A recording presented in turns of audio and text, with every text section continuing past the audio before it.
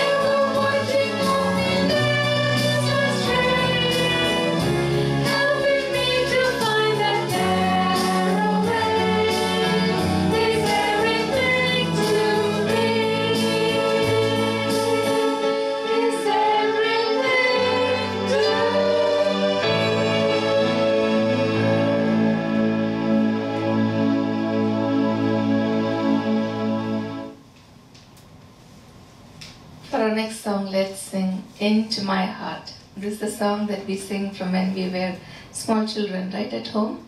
Into my heart. Into my heart. Come into my heart. Lord Jesus. Come in today. Come in to stay. Come into my heart, Lord Jesus. Let's keep our hearts in prayer as we sing the song, Into My Heart.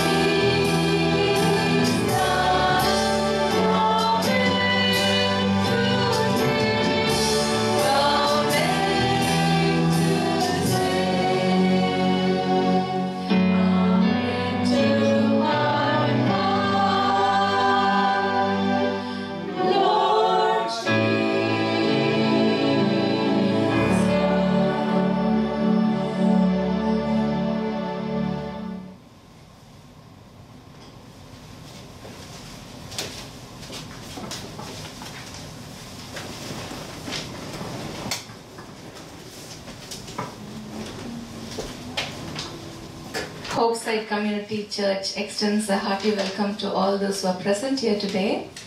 It's a beautiful weather, although it's hot and humid outside, but we are still thankful that God has been with us during the past days. First time visitors are welcome.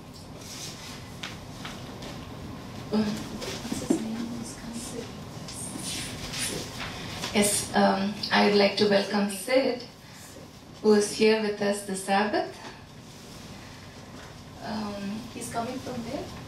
From, from Washington State. Okay, he's joining us from Washington State. And please feel at home. As you're coming here for the first time, you can sign in our guest book as well. Please visit our website as often as possible. We we can send you every week um, emails, so also give your email ad- addresses. This week we are glad to have um, Mr. Peterson here with us. He's going to give us um, the message today. The second week of any month is focused on health matters. Here's a quote that reflects on his theme. We are what we repeatedly eat. Healthy eating is not an act but a habit. It's by Felicity Lucky. So, we are what we eat repeatedly. So, what are we eating? That's something to reflect on. Prophecy Live is every Saturday at 3 p.m. You can join us through Zoom or uh, you can watch it on YouTube. You can also check prophecylive.org for more information. You can participate in most Hopeside services by Zoom. The information about the Zoom links are given on the website. Women's Bible study is every Saturday at 4 p.m. and now we are looking into Genesis. So if you like to join, please join. I'll be leading. Pray fasting is every Tuesday from 6 a.m. to 6 p.m. WhatsApp group name is Pray Fasting if you'd like to join. This is to pray mainly for our building project and any other prayer request. You can fast and pray as you prefer between 6 a.m. to 6 p.m. every Tuesday. Is there any other announcement that has to be made? If not, you're all welcome for a luncheon after the divine service. For our opening song, let's all join our voices in singing, Jesus, what a wonder you are. Let's all rise as we sing.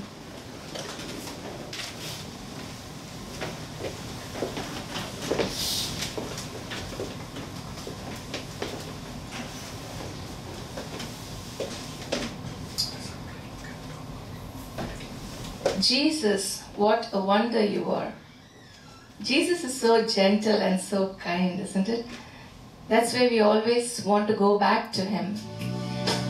Jesus shines like morning star. Oh Jesus, what a wonder you are. Let's join our voices in singing, Jesus, what a wonder you are.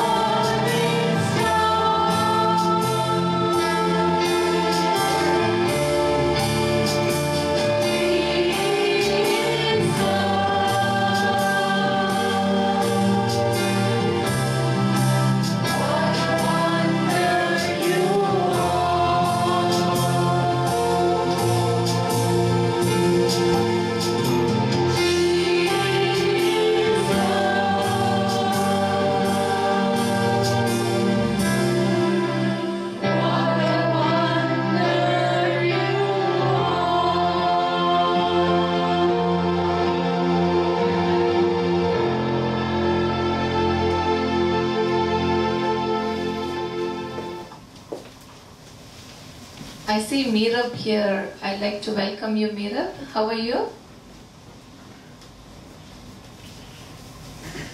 Happy Sabbath to you. Thank you for joining us,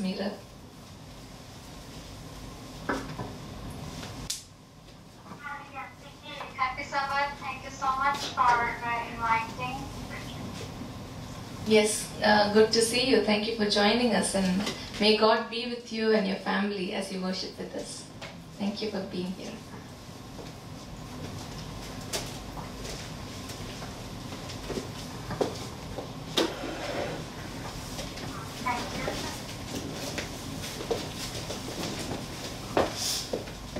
First Timothy chapter 2 verse 1 and 2 and it reads I urge that first of all that petitions prayers intercession and thanksgiving be made for all people for king and all those in authority that we may live peacefully and quiet lives in all godliness and holiness with these words, I would like to invite each one of you to present your praise report and your prayer request. Can I have one, please?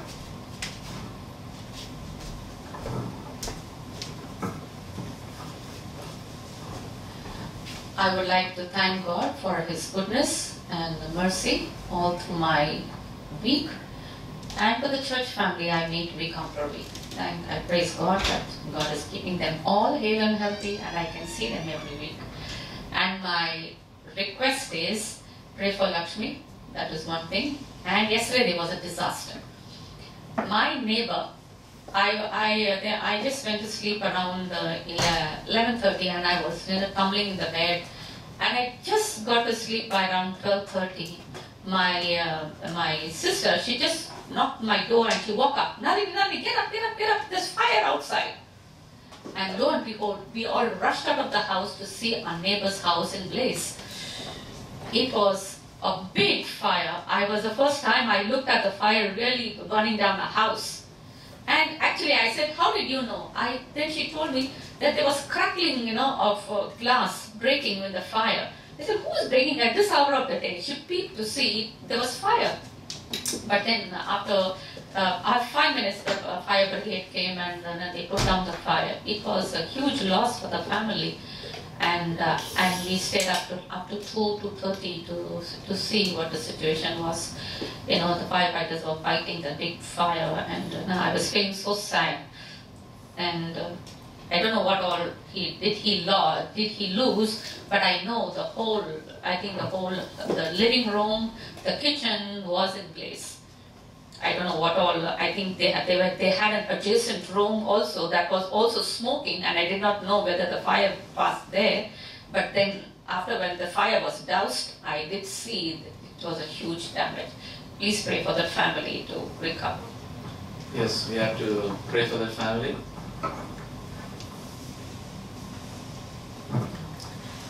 Please continue praying for my sons, Michael and Nathaniel, for their spiritual growth.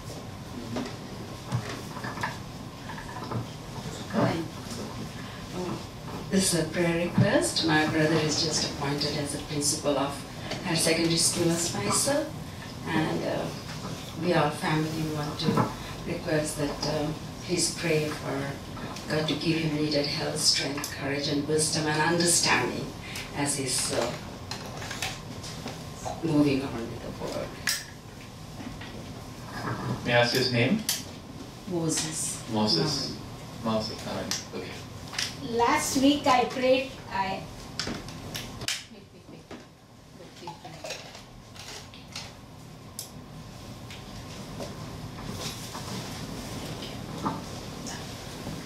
last week I requested prayer, prayer for my uncle, uh, Yohanan. He sadly passed away. Please remember my sister-in-law's family, Daisy's family in prayer and my brother. And uh, my three children and I thank God for everything. And um, unspoken request.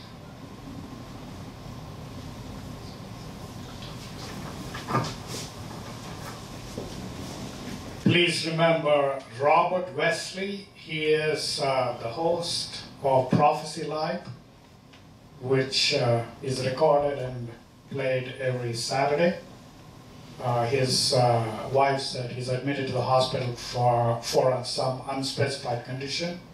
Nothing serious, but nevertheless, uh, please remember the host of Prophecy Live. That's our own uh, Robert Wesley. He's my childhood friend. He came here first week of uh, February from England and he preached, as you all know. So remember Robert Wesley. And also Mohan Jodi, if you can remember all these names. He's my childhood friend too. His organs have failed and he's intubated. He's in the hospital. He's right here. A very feisty kind of a guy, uh, and uh, but he's now fighting for his life. Mohan Jodi and uh, Robert Wesley.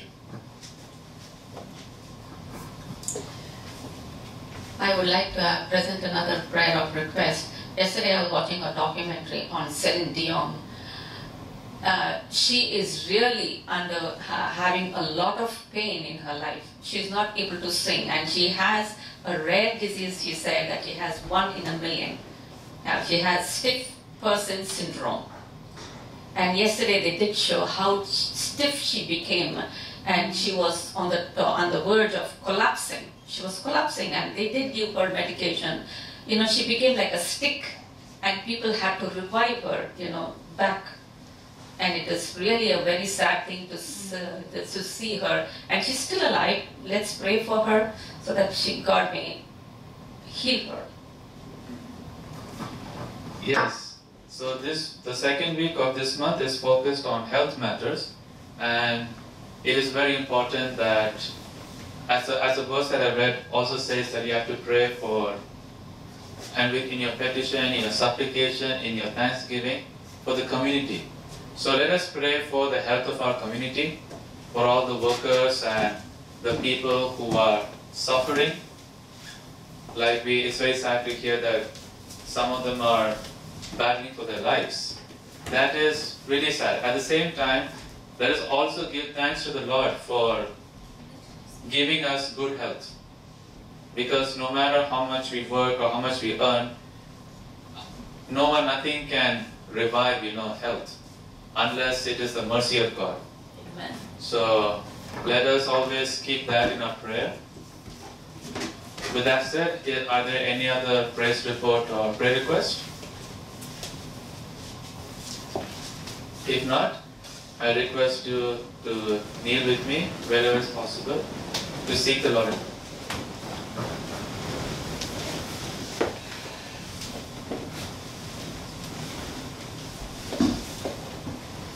Let's pray.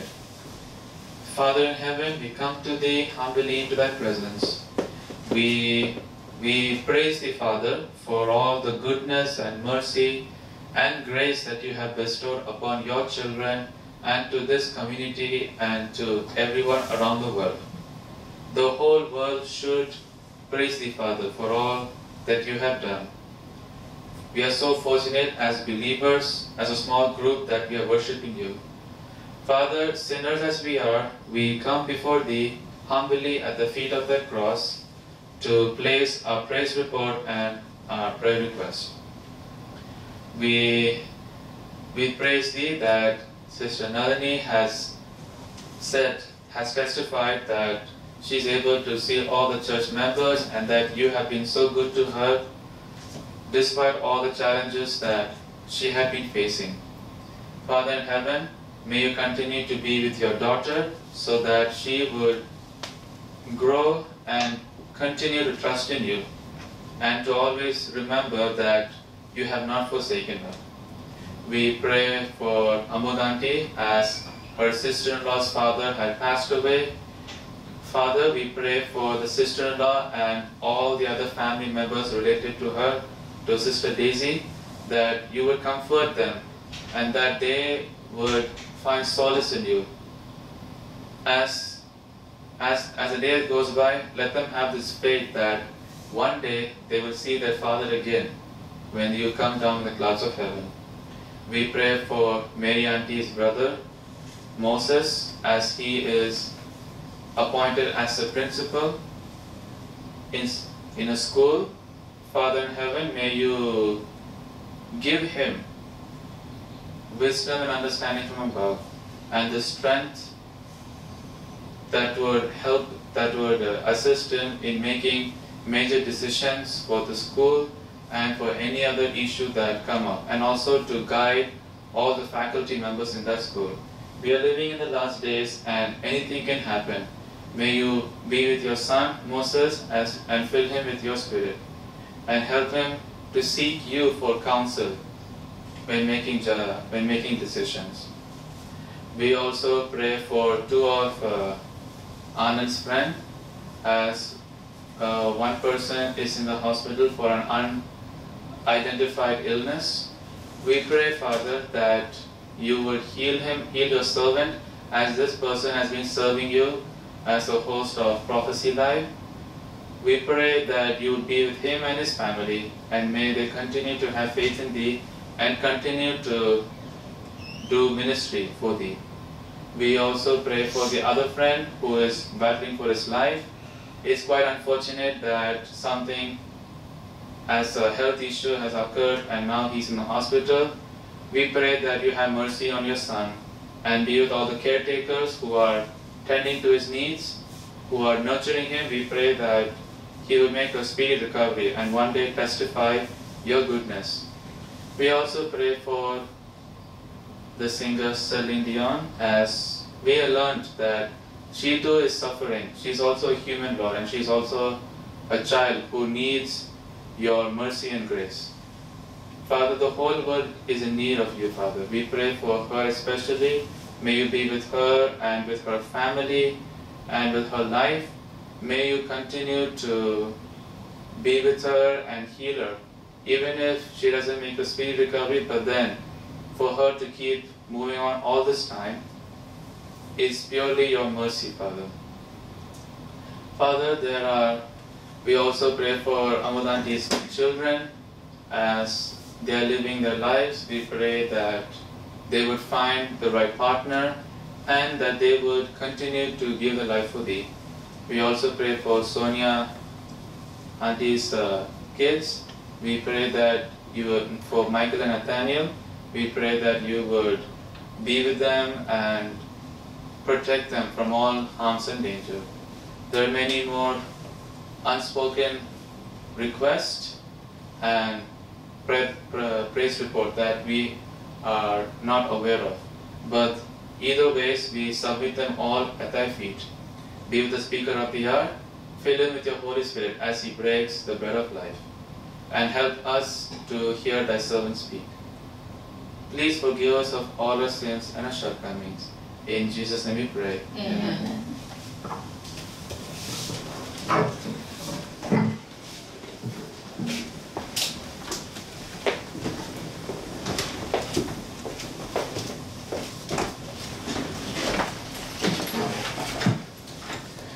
In continuation of our worship, now we come in the presence of the Lord with all that we have. We let's give our Lord all that we have. Everything that is belongs to us belongs to the Lord, isn't it? We are. Yesterday, I really did uh, um, uh, did experience. No matter what you earn and what you do, this fire put down everything in a minute. Everything was gone. He never even dreamt in his life, thought in his wildest dreams that his house will be on fire. And it was late night. And we, uh, when it was everybody who was going to sleep at that time, the fire just gone out. And I was just thinking, what if nobody came to the rescue and nobody done? The whole house would have gone. Of course, the, the, now the portion of the house was burned down that he can repair. But you know, there was a very sad thing that his wife was not able to move out, run out quickly. She was on a walker. So you see how God was gracious to, you know, pull her out of the fire. So we are indebted to God, to whatever we have. It's not that I have earned and I have the pleasure that I have earned and, I, and it is mine. It is all the Lord's. So let us have that fear of the God in our hearts and give Him all that is required And with that, we we realize this is our Sabbath mission in giving. People will recognize that we are children of God, and our mission will grow to uh, to enhance His coming. May we all pray that the Lord will come soon and deliver us from all the sickness and trouble that we have in this world. Do we all not desire that God comes soon? Yeah. Yes, so we all desire. Even morning I was telling, when Pastor Jeffrey was telling me about all the crises that were happening, I said, Lord, please come soon. Let us not experience all this. And if it is your will, we have to give me the strength to go through this situation. Okay, that is all my prayer is. And let's pray for the offering. Gracious Almighty Father, Lord, we thank you for being with us and blessing us through the past week. Thank you for keeping us safe and sound. Thank you for keeping us safe as an apple of your eye. Thank you, Lord, for all the manifold blessings. Though we don't deserve them, but you are still giving us. Thank you for your faithfulness, O Lord. Now we come with the offering. Lord, I pray that this offering that we present before thee will be multiplied like the two fish and the five loaves, Lord, and let it be used for the furtherance of your cause. Let every member of this planet know that you are the only true living God, that and you are in control of the situation. Mighty God, we pray that this mission that we have in our hearts, let it go forward to hasten your coming. In Jesus' righteous name I pray. Amen. Amen.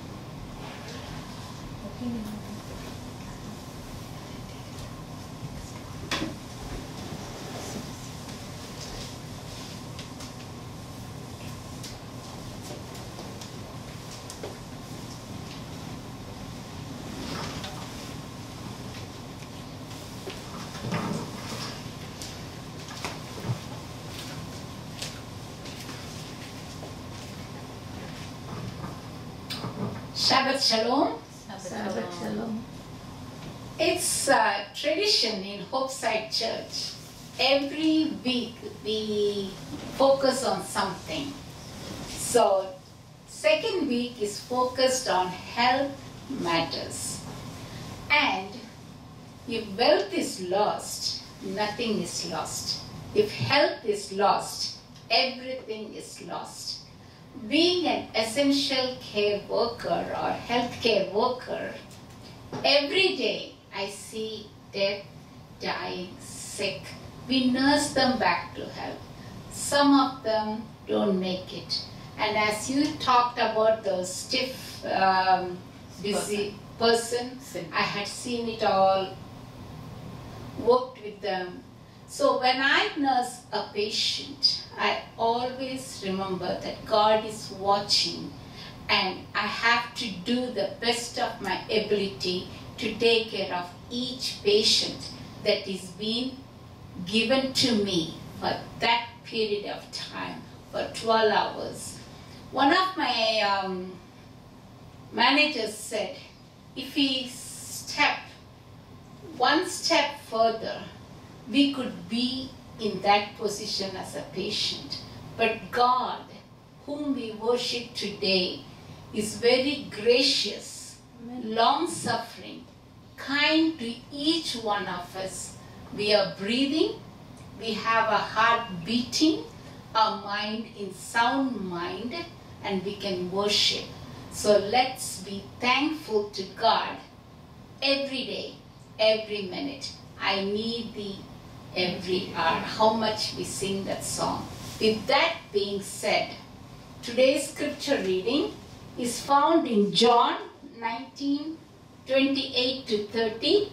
We'll read alternatively. I'll read the first and we'll read the all of them the second. And then when it comes to the last, we all will join in unison and reading the scripture. Today's scripture reading is found in John 19 28 to 30. After this, Jesus, knowing that all things were now accomplished, that the scripture might be fulfilled, said, I thirst. All? Now there was a set vessel full of vinegar, and they filled a sponge with vinegar and put it upon hyssop and put it to his mouth. All of us. When Jesus therefore had received the vinegar, he said, It is finished. And he bowed his head and gave up the ghost. May the Lord add his blessing to the reading of his word.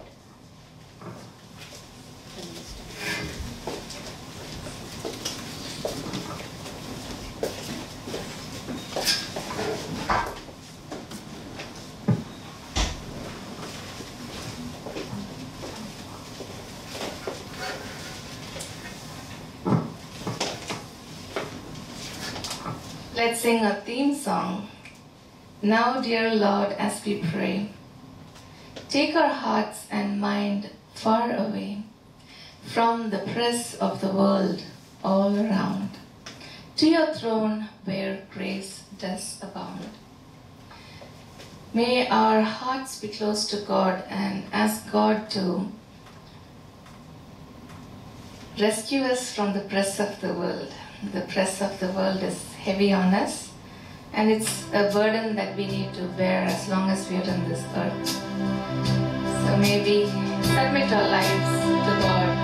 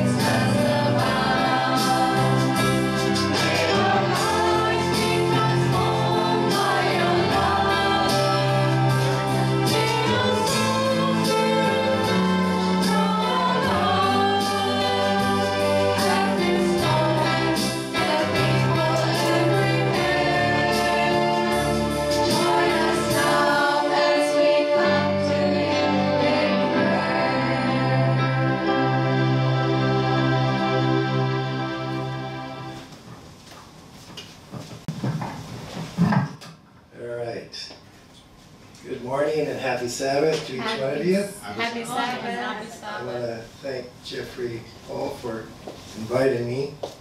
I noticed the bulletin has his name on here, so I thought maybe he was going to preach my sermon for me. Um, I'm a teacher, not a preacher, even though I took theology. And uh, so I made a pact with God, kind of like William Miller, when uh, he says, Okay, Lord, Lord, I will preach if someone calls me to preach. And uh, in 15 minutes, his nephew was at the door and said, Hey, we need someone to preach. And so, even though I don't always feel comfortable up front, I've taken the attitude of William Miller that if called. So last week I thought to myself, you know, Jeffrey's been after me to preach, keeps asking me, and I keep on saying no, no. And so I said to myself, if he says, again, you preach, I'll preach. The first thing he says, so when are you going to preach?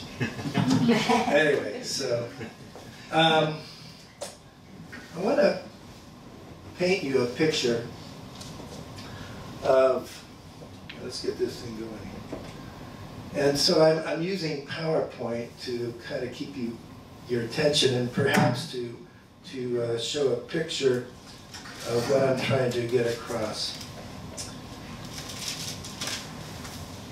As Jesus met with his disciples um, in the upper room um, and ate the Last Supper, time was running out for Jesus. In less than 24 hours, Christ would die on the cross. For us Gentiles, this would have been Thursday evening. But for the Jews, it was the evening of the following day, Friday. You probably remember that in the book of Genesis, when Jesus created the world, that the evening and the morning was the first day. And therefore, according to, to the Jews, Jesus was eating the Passover supper with his disciples on the same day that he would die on the cross as our Passover lamb. Jesus had a lot to tell his disciples before his death, especially to the eleven after Judas would leave the upper room. But there was a problem. The problem was that his disciples were still in the who should be the greatest in the kingdom mode. And that is why Judas made sure that he had the best position at the Passover table next to Jesus. And to be fair, John had the same idea. And therefore, Judas was made sure that he was on the left side of Jesus, and John made sure that he was on the right. The Passover feast was instituted when the children of Israel left Egypt. It was part of the tenth plague. By following Moses' instruction, the children of Israel should be ex- example, exempt from the effects of the tenth plague. And ever since then, year after year, for centuries, the Israelites have kept the Passover feast, which was to do two things. Number one, point God's people back to their deliverance from Egypt and slavery, which was, um, and number two, at the same time, to point them forward to the coming of the Messiah, his death on the cross, the true deliverance from the slavery of sin. Now, when the children of Israel left Egypt, they were to eat the Passover meal.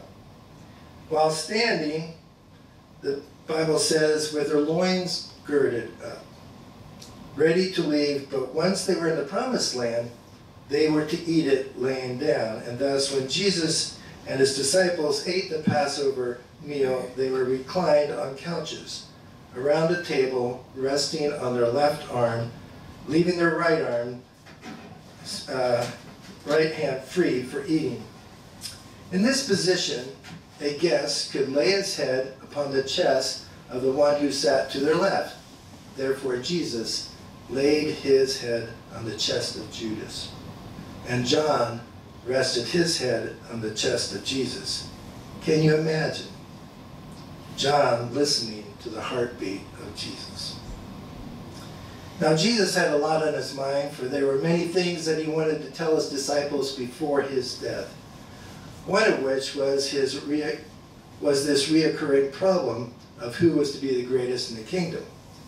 The book Desire of Ages indicates that the ten disciples were still upset with James and John for getting their mother to, involved in asking that they be on the left and the right hand of Jesus when he came in his kingdom. And so when there was no one to perform the duty of foot washing, they all stood back to see who would act their part of servant. Thus Christ ends up washing the feet of the, of the disciples to show how they should be like him, that is, serving rather than being served. After Christ washed the feet of, of his disciples, Desire of Ages says Christ was standing at the point of transition between two great festivals. The Passover service, which they were participating in, was to come to an end forever. Its purpose since the time of Moses was to point the people to the Messiah's death, the true Passover lamb. And since Christ was about to die, its observance was no longer necessary. And the new service that Christ established, which we call the communion service, was to be observed by his followers in all the lands and through all ages. This would literally be the last meal that Christ would eat before his crucifixion and perhaps even his last drink. The communion service, like the Passover service, would have two functions. First, to point back to Christ's death on the cross for the deliverance of our sins, but it was also to point forward to his second coming. And thus, Jesus says to his disciples, I will not drink of the fruit of the vine until that day when I drink it anew with you in my Father's kingdom. The communion service, like the Passover, was to keep Jesus' great work for us fresh in our minds. And thus Jesus says, as often as you eat, do this in remember of me. It was during the Passover meal that Jesus announced that one of them was going to betray him. And when Judas was asked with the others, Is it I, Master? Jesus answered, You have said so. And then these parting words, What you are going to do, do quickly. If you would like to read along with me, I'll be in chapter 13 of the book of John, verses 31. So Judas finally leaves. Desire of Ages says Judas had left the upper chamber and Christ was alone with his eleven. The impression is given that Jesus is, was waiting for this moment so that he could draw the remaining 11 disciples closer to him. I imagine Jesus physically drawing his disciples close to him and almost in a whisper and yet with urgency in his voice because time was short, saying to the remaining disciples, verse 33 Little children, yet a little while I am with you. And where I'm going, you cannot come. And a new commandment I give to you that you love one another, even as I have loved you. Peter, wanting Jesus to slow down, asks, Where are you going? In verse 36, notice that Peter didn't hear the part about loving one another. Jesus says, Where I am going, you cannot follow me now, but afterward. Peter, not satisfied with Jesus' answer, asks, Why can't I follow you now?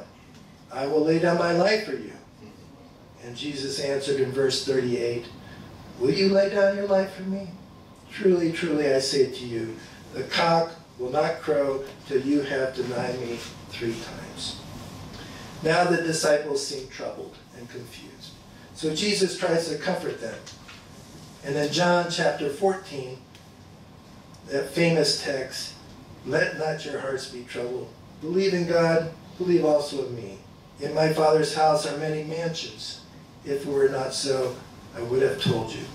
I go to prepare a place for you, that where I am, there you may be also. And you know the way to where I'm going. Thomas, still trying to grasp Jesus' words five verses back in the book of John, speaks up in verse 5 of chapter 14. Lord, we do not know where you're going, so how can we know the way? And Jesus say, says, I am the way and the truth and the life. No one comes to the Father but by me. Philip figures he knows how to clear up the whole problem by saying in verse 8, Lord, show us the Father and we'll be satisfied. Jesus says, Have I been with you so long and yet you do not know me, Philip? He who said, who, he who has seen me has seen the Father, and how can you say, Show us the Father? So you get the picture. Jesus is trying to cram all the information he can into the minds of his remaining 11 disciples so that they will be able to carry on his legacy and at the same time not be bewildered by his death. From the upper room, they go to the Garden of Gethsemane where Judas will betray him with a kiss. Once Jesus enters the garden, his words are few. To his disciples, he simply says, Watch and pray. To his Father in heaven, three times he pleads, If at all possible, allow this cup to pass from me. And then finally, my, God, my Father, if this cup cannot pass unless I drink it, thy will be done. The next nine hours of Jesus' life are summarized in these words from the book Desire of Ages. O fearful scene! The Savior seized at midnight in Gethsemane, dragged to and fro from palace to judgment hall, arraigned twice before uh, priests, twice before the Sanhedrin, twice before Pilate, and once before Herod. Mocked, scourged, condemned, and led out to be crucified, bearing a heavy burden of the cross, amid the wailing of the daughters of Jerusalem and the jeering of the rabble. During these nine hours, from midnight Thursday night to nine o'clock Friday morning, Jesus says very little. At nine, um, at 9 a.m., Jesus is finally lifted up on the cross and would hang there for the next six hours. In Roman time, this was the third hour. Their day started at 6 in the morning. After hanging on the cross for three hours, darkness covered the earth. But before the darkness covers the earth, the gospel reports the following words from Jesus Father, forgive them, for they know not what they do. And when the thief on the cross asked Jesus, Remember me when you come in your kingdom, Jesus responds with these words Truly, truly, I say unto you, you will be with me in paradise. The Gospel of Matthew says, Now from the sixth hour, which is 12 noon, there was darkness over all of the land until the ninth hour, which was 3 hour 3 p.m. And about the ninth hour, Jesus cried with a loud voice, My God, my God, why hast thou forsaken me? Then Matthew ends with these words, And Jesus cried again, and with a loud voice, he yielded up his spirit. The Gospel of Mark is identical to Matthew's Gospel. Luke's Gospel, on the other hand, ends with Jesus' words, Father, into thy hands I commit my spirit and he breathed his last. John's gospel first tells of his own encounter with Jesus at the foot of the cross when Jesus says to him, Woman, behold your son. And then to him, John, behold your mother. But later, in verse 28, John says, After this, Jesus, knowing that all was now finished, said to fulfill Scripture, I thirst. And then in verse 30, it all ends with these words Jesus, when Jesus had received the vinegar, he said, It is finished. And he bowed his head and gave up his spirit. The book Desire of Ages summarizes Jesus' words in this order. The author has Jesus saying, It is finished. And then, before he dies, Jesus says, into thy hands I commit my spirit. When I close my eyes and I envision that moment, I imagine Jesus' voice echoing throughout all the universe. It is finished, finished, finished, finished, finished. And in my thinking, this cataclysmic event of Christ's death on the cross with these final words, it is finished, became and will always be the pivotal point of the entire universe for the rest of eternity. So, if this is the cataclysmic event of the universe for all time, what was finished? When Christ said those words just before he died on the cross. In order to explain this, there's a saying we have sometimes you can't see the forest because of the trees. In other words, you're too close. And so I want to pan out, way out to the beginning. I want to pan up to this pivotal point in history of the universe so that we can see the beginning to the end of this great controversy that started in heaven. The book Desire of Ages has a full chapter entitled It is Finished, and it starts out by saying Christ did not yield up his life until he had accomplished the work which he came to do. So, what was it that Christ came to do? The work that Christ came to do was to finish what Satan had started back in the Garden of Gethsemane, if not before then, when he tempted Adam and Eve to sin. Notice what Genesis 3:15 says, "Because you, Satan, have done this, I will put enmity between you and the woman, between your seed and her seed. He shall bruise your head, and you shall bruise his heel." He shall bruise your head is when God finally destroys Satan in hell. And you shall bruise his heel is Satan uh, part in the death of Christ on the cross. In the last chapter of the book Desire of Ages, the author says these words. Before the foundation of the earth were laid, the Father and Son had united in a covenant to redeem man if he should be overcome by Satan. They had clasped their hands in a solemn pledge that Christ should become the surety for the human race. This pledge Christ has fulfilled. When he was upon the uh, cross, he cried out, It is finished. He addressed the Father. The compact had been fully carried out. Now he declares, Father, it is finished. I have done thy will, O my God. For the angels, also from the book Desire of Ages, and the unfallen worlds, the cry, It is finished, had deep significance also. It was for them as well as for us that the great work of redemption had been accomplished. But for Satan, it is finished was his death knell. When Christ declared it is finished, Satan saw that his disguise was now torn away. His administration was laid open before the unfallen angels and before the heavenly universe. And now his work was restricted. He was cast down to the earth. Revelation 12 12 says, For the devil has come down to you having great wrath, because he knows that his time is short.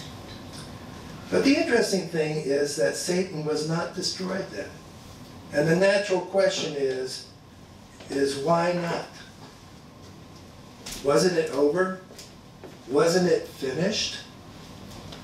The reason given is that the angels did not still fully understand all that was involved in the great controversy when Jesus died on the cross. There was more to Satan's rebellion, and these principles were to be more fully revealed.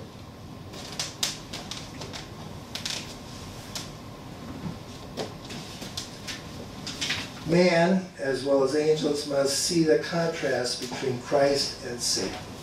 And in the end, man must choose whom he will serve. So, what was to be more fully re- revealed? In order to answer that question, we need to go back in time to when Lucifer first sinned. At the beginning, before Lucifer sinned, Lucifer had been created perfect.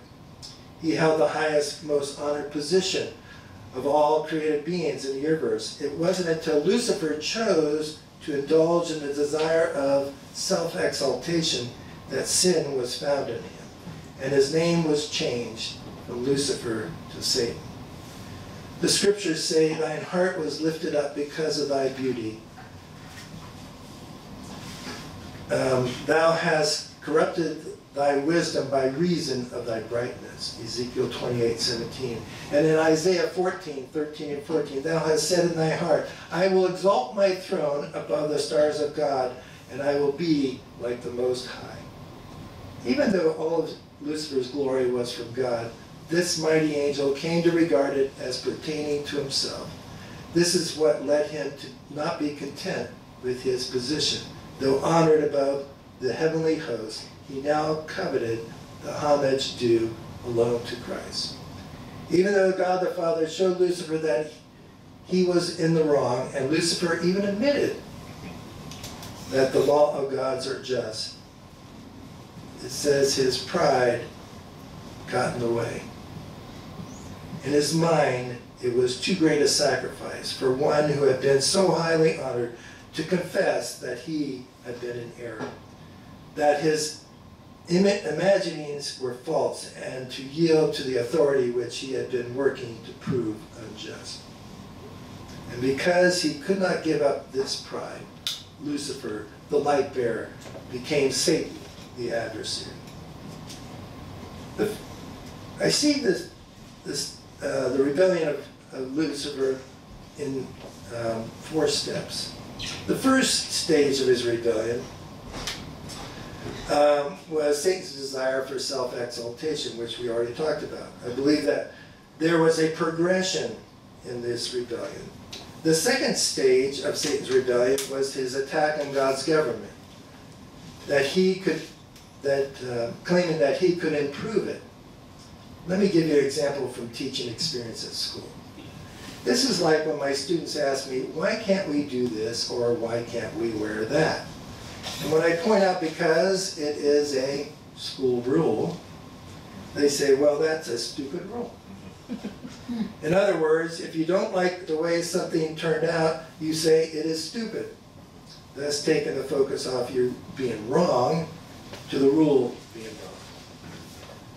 This is what Lucifer, now Satan, begins to do. He insinuates doubts concerning the laws that govern the heavenly beings. He says the laws might be necessary for the inhabitants of the world, but angels, being more exalted, they need no such restraint, that their own wisdom was sufficient guide. And therefore it was impossible for angels to bring dishonor to God. He argued that all their thoughts were holy and that it was not no more possible for them to err than for God himself. This is when my students would say, okay, those rules are probably good for the, uh, the grade school kids, but we're high school students. We're smarter than them, more mature. Some of us can even drive and even vote in a few years.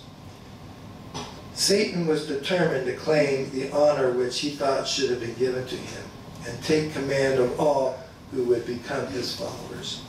And therefore he pointed, he promised those who would enter his ranks a new and better government, under which all would enjoy ultimate freedom. Since Satan claimed that this that, that his only object was to improve the laws of God, therefore God permitted him to demonstrate the nature of his claims, to show the working out of his purposes to change the divine law. His own work must condemn him. Satan had claimed from the first that he was not in rebellion. Therefore, the whole universe must see the deceiver unmasked. So to sum up the second stage of Satan's rebellion, I'm not discontent. The rules are stupid. I just want to fix them. The third stage was to do, has to do with man. Satan's rebellion after the creation of Adam and Eve boiled down to two main concepts. The first was that the law of God could not be obeyed. So when Adam and Eve sinned, Satan was ecstatic. He said that this proves that God's laws needed improvement because they could not be obeyed. And the second was that God could not be a just God and a merciful God at the same time. In other words, if someone was to break God's law, that person could not be forgiven, but must die. And therefore, if God were a just God, he would not forgive Adam and Eve's sin. Satan pointed to his own banishment from heaven for his rebellion as an example as to why the human race must also be forever shut out of God's favor. But here is the key uh, from the Desire of Ages. It says, But even as a sinner, man was in a different position from that of Satan. Lucifer in heaven had sinned in the light of God's glory. To him, as to no other creature created being, was given the the revelation of God's love. Understanding the character of God, knowing his goodness, Satan chose to follow his own selfishness, his own independent will. This choice was final. There was no more that God could do to save him. But man was deceived. His mind was darkened by Satan's sophistry. The height and depth of the love of God did not know. For him there was hope in the knowledge of God's love. By beholding his character, he might be drawn back to God. Therefore, man was given a second chance. So to review, Satan's rebellious progression. Number one, it all started with the desire for self-exaltation. I will be like the Most High God. Number two, I'm not in rebellion. I just want to improve upon God's government and give ultimate freedom. Number three, the problem with God's government is that the law cannot be kept and God cannot be just and merciful at the same time. Christ's death on the cross proved all these rebellious ideas wrong. And therefore, Jesus could say on the cross, It is finished. But interestingly, there is one more stage in Satan's rebellion. Even though Christ had already died on the cross and cried out, It is finished, there is still one more stage. Desire of Ages points it out. It says, Another deception was now to be brought forth um, forward. Satan declared that God's mercy destroyed his justice, and that the death of Christ now abrogated or changed the Father's law. So here's an interesting thought. Before Christ's death on the cross, you don't hear anything about changing the law. It wasn't until Christ's death on the cross that Satan is saying, okay, this changes everything. Your mercy has dest- destroyed justice. But notice this had it been possible for the law of God to be changed or abrogated, then Christ need not have died on the cross. Mm-hmm. It was because the law was changeless, because man could be saved only through obedience to its precepts, that Jesus was lifted up on the cross.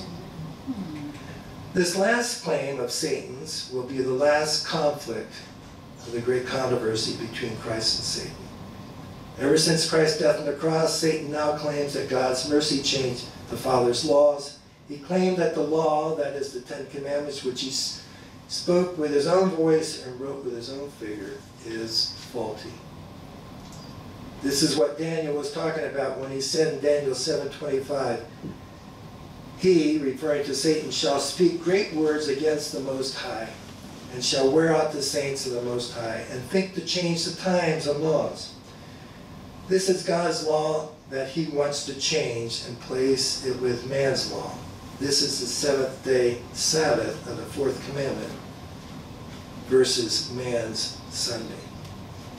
God did not change his law. Remember Jesus' words, if it uh, is possible, allow this cup to pass from me.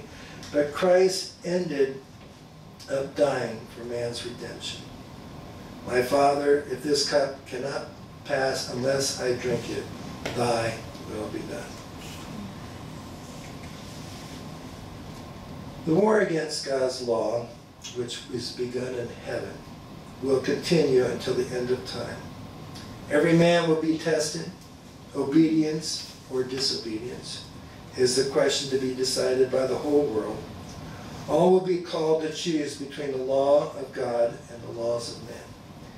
Here the uh, dividing line will be drawn. There will be two, but two classes in the end.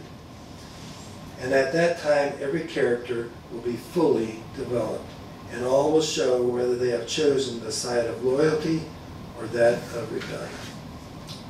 Yes, it is finished. Christ has paid the penalty for our sins that we might be justified. But now it is our turn. There is something we must do. We must choose. We must first choose Jesus as our Savior, and then we must choose to serve Him. You must choose whose side you are on. So if you have chosen Christ as your Savior, I implore you to now choose to serve Him, no matter what the cost. Amen. Amen.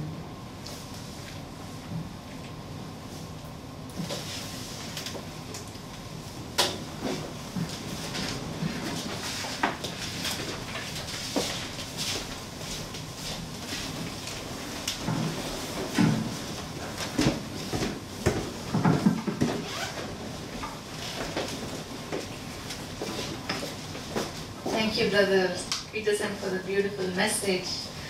Um, it is finished. I never thought in depth about the words. It is finished.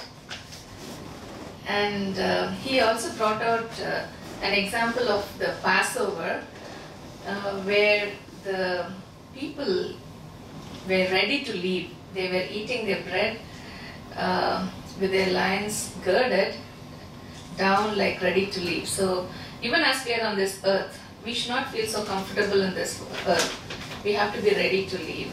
And thank you so much for bringing out the um, four points about the rebellion of Lucifer, um, so that we will be, we will understand what was finished, and we will always be choosing Christ, and we will serve Christ. Thank you for this message. In closing, let's all join our voices in singing the song, How Great Thou Art. God is an awesome God. He is the creator of the whole universe. Who else should we worship other than God? O Lord my God, when I in awesome wonder consider all the worlds thy hand has made. Let's all rise as we sing the song. Let's join the voices and sing the song, How Great Thou Art. God is a mighty God and there is none besides Him. Amen. Amen.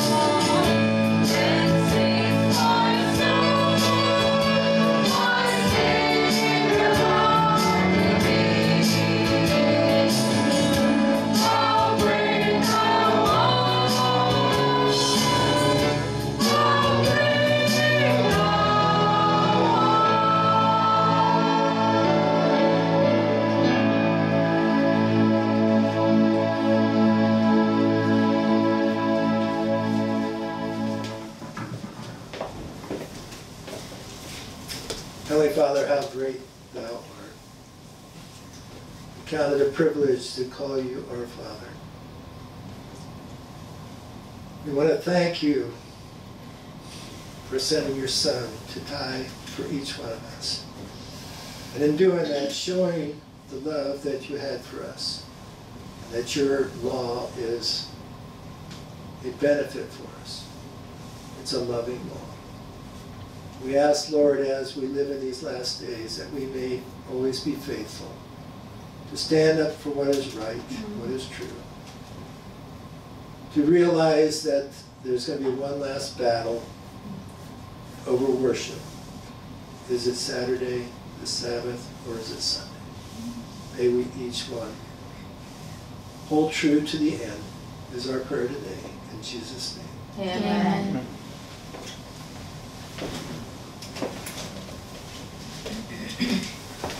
Once again, happy Sabbath. Happy Sabbath. Uh, thank you, Brother Peter and uh, Sister Elizabeth, who would be a part of HopeSide Church. Thank you for acknowledging and being a part of us and especially serving us with God's Word. I am truly humbled to have a man like uh, Brother Peter Hardy the first time that I saw him. Uh, I I know Brother Peter Hardy because of my sister. Okay, they do attend Hood River Church. Okay, in uh, Oregon, Portland, right? President. Okay, yeah, Hood River. And uh, my sister attends there. And uh, that's the way how I came to know Brother Peter. And uh, my sister has always, uh, uh, you know, talking something what the Lord has been able to do there in Hood River. She always said, Pastor Brother Peter has to speak to your church if you have an opportunity because uh, his messages are so beautiful, it touches your heart. Amen. And I always believe one thing the same message, most probably, uh, he would have given that to me. I would have been so grateful that I could preach the same sermon again in a different angle altogether. I hope that uh, Pastor Brother Peter would be uh, my sermon writer. You know, I truly honored okay, your message today. Thank you very much for that insight. You know, he served as a teacher for 43 long years Wow. and he has three children and 11 grandchildren. Eleven. And uh, he's been so much been blessed in every angle. Very humble, very simple. I don't know what you people think about. The first time that I met him in his father's place, you know, the first thing that he told is there was a huge, uh, you know, basement there, very beautiful. He said, I want to give this to you, you can stay, he said. Mm-hmm. I can never forget that. I can never forget that. Humble, generous, and a very good Adventist. Very happy that we as HopeSide Church to know you, sir. God be with you in whatever possible in Hood River. May the Lord be able to use you mightily in every angle. That's my prayer for you. Okay. Amen. Amen. He'll be traveling, okay, most probably within uh, two, three days from now, I guess, right? Yeah. So it'll be a long ride. So please continue to keep him in prayer so that the Lord will be able to help him and his lovely wife to reach safely. And uh, we do cherish this beautiful relationship, and I'm looking forward to go and spend time in Hood River one day. Okay, God bless. Thank you once again for being joined with us, and people are watching online. God be with you all.